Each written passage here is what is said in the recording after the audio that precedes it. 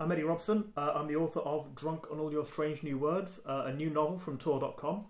Uh, and today we're going to be drinking a nice glass of uh, Nikka whiskey from the barrel. So I'd like to talk about uh, what's most important about writing aliens in science fiction. Uh, and the thing that comes to mind for me is the avoidance of cliche, because we have a lot of cliches about aliens.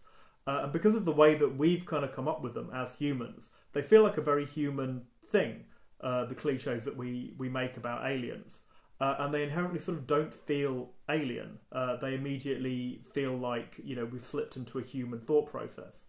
Um, but then again, it is genuinely difficult, I think, uh, to write a truly alien thought process. There's a sort of paradox at work here, because uh, as a human, anything that comes out of your human brain uh, sort of is a human thought process. Even if it's trying to mimic an alien thought process, it's inherently a human thought process. And unfortunately, when you're writing a book, uh, your human brain is all you really have to work with.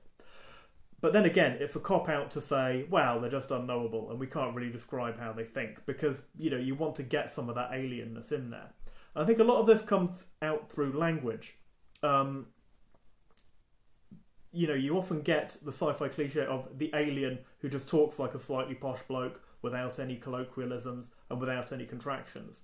And I think on the point of colloquialisms in particular, uh, I can see why that happens because colloquialisms do leap out as a human thing, don't they?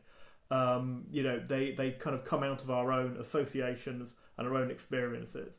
Uh, and it feels like um, they're the things that tend not to translate. I mean, even between human languages, they're the things that are least likely to translate and that need a bit of explanation.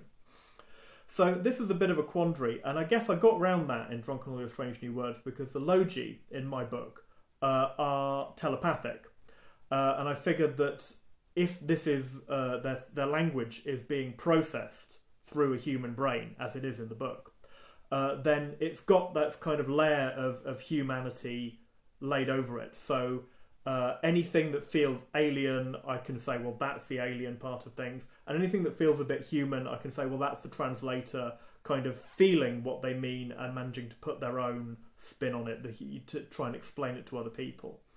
Um, but the thing that uh, I, I, I, really uh, wanted to do in the book is to suggest this alien way of approaching things uh, which manifests itself in, in the Logi by their uh, complete antipathy for digital technology and the fact they simply don't understand it. Um, and that gave me a nice opportunity because, you know, it is a book, the novel, uh, is that the common ground that they have with us is books. So, in a way, it's sort of a celebration of books as the common cultural link